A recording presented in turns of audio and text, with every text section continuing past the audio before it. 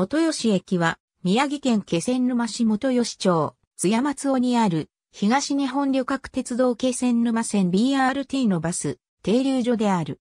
もともとは、同社の気仙沼線の鉄道駅であった。当駅を境に管轄が仙台支社と盛岡支社に分かれる。当駅は盛岡支社の管轄である。また、同支社管轄のバス停留所としては最南端にあたり、鉄道駅時代は盛岡支社管内最南端の駅であった。BRT の運行開始後も、鉄道駅の駅舎を改装して利用し、線路跡に整備された専用道場に上下のバスが交換可能な乗降場が設けられている。乗降場の陸前小泉駅側に駅前広場との出入り口が設けられ、当駅発着の便などの改装が可能となっている。2013年、当駅から小金沢方面の専用道が完成した時点では、駅舎の気仙沼駅側に隣接して、専用道と駅前広場の境に BRT の乗降場が設けられた。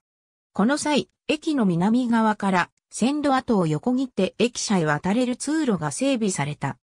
陸前小泉駅方面から当駅までの専用道が2019年11月に供用開始された際、専用道上に新しく乗降場が設けられ、その後に旧乗降場は撤去された。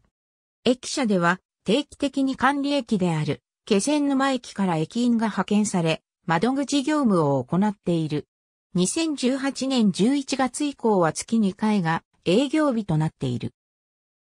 当駅を直通するすべての便で2から3分の停車時間が設定されており、一部便では当駅で乗務員交代を行う。島式ホーム一面に線を有する列車交換が可能な地上駅で、駅舎とホームは古線橋で連絡していた。駅舎には窓口、待合室があるほか、構内に保線休憩所があった。京線沼駅管理の簡易宅駅で、元吉町商工会が受託していた。乗り場、JR 東日本によると、2020年度の1日平均乗車人員は125人である。2000年度以降の推移は以下の通りである。なお、気仙沼線は東日本大震災後に BRT による復旧をしたため、2011年度以前の統計は鉄道運行時のものとなる。鉄道 BRT。ありがとうございます。